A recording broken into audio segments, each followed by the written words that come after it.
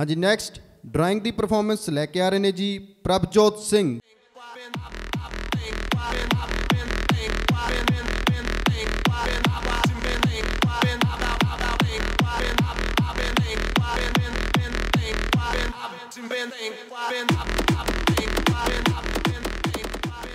KKHD ਇਹ ਅਖਬਾਰ 'ਚ ਵੀ KKHD ਦੀ ਐਡ ਹੈ ਮੈਗਜ਼ੀਨ ਵਿੱਚ ਵੀ ਹਰ ਪੇਜ ਤੇ KKHD KKHD Facebook ਦੇਖਿਆ KKHD YouTube ਦੇਖਿਆ ਉਹ 'ਚ ਵੀ KKHD ਮੈਂ ਵੀ ਕੱਲ Instagram ਤੇ ਦੇਖਿਆ ਸੀ ਉਹਦੇ ਉੱਤੇ ਵੀ KKHD ਦੀ ਐਡ ਆ ਰਹੀ ਸੀਗੀ ਇਹ KKHD ਕੀ ਹੈਗਾ ਤੁਹਾਨੂੰ ਪਤਾ ਹੀ ਨਹੀਂ KKHD ਦਾ ਮਤਲਬ ਕਿਸ ਵਿੱਚ ਕਿੰਨਾ ਹੈ ਦਮ ਕਿਸ ਵਿੱਚ ਕਿੰਨਾ ਹੈ ਦਮ ਦੁਨੀਆ ਦੇ ਸਾਹਮਣੇ ਆਪਣਾ ਟੈਲੈਂਟ ਦਿਖਾਉਣ ਲਈ ਇਹ ਸਭ ਤੋਂ ਵਧੀਆ ਟੈਲੈਂਟ ਸ਼ੋ ਹੈ ਤੇ ਸਭ ਤੋਂ ਇੰਟਰਸਟਿੰਗ ਗੱਲ KKHD ਵਾਲੇ ਸਾਨੂੰ ਟ੍ਰੇਨਿੰਗ ਵੀ ਦਿੰਦੇ ਨੇ ਤੇ ਬੱਚਿਆਂ ਨੂੰ ਇੱਕ ਪਲੇਟਫਾਰਮ ਵੀ ਦਿੰਦੇ ਨੇ ਇਹਨਾਂ ਦਾ ਨੰਬਰ ਕੀ ਹੈ? 90 41 733 733 94733 733